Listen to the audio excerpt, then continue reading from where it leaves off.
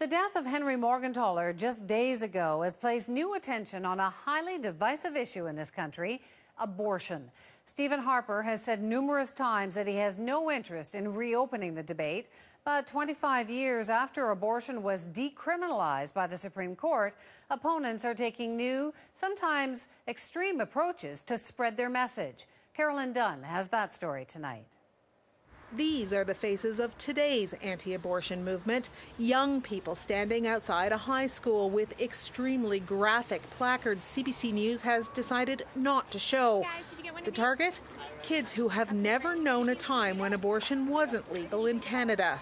Our philosophy is if someone is old enough to have an abortion, they're old enough to see an abortion. This student has a pregnant friend and she's weighing all her options, including abortion. It's part of the options she has, but it's, I know it's a bad option, but yeah, I mean, her future at stake too. As, as much as I... He agrees to take a phone number, and for the Canadian Centre for Bioethical Reform, that's a victory.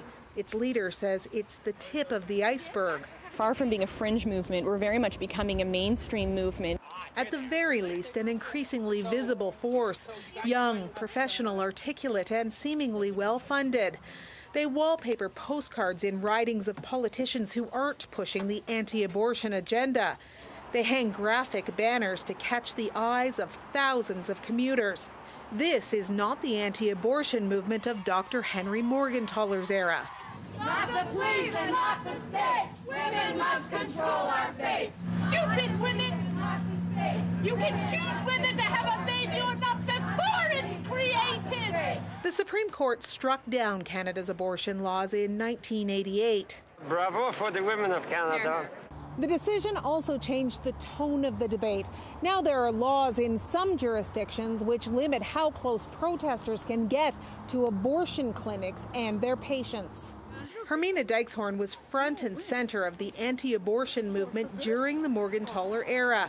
You'll still find her picketing an abortion clinic in Calgary from a distance, and she says somewhat silenced. We are not even allowed to discuss abortion uh, in Canada.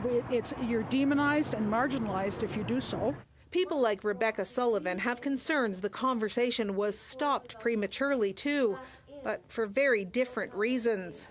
We have whole provinces, we have large regions in this country where safe therapeutic abortions cannot be obtained. But there's little appetite among most Canadians to reopen a debate they consider long closed. So perhaps the biggest challenge for this new generation of anti abortion advocates is getting people to even notice them. That's where those shocking pictures of bloody aborted fetuses come in.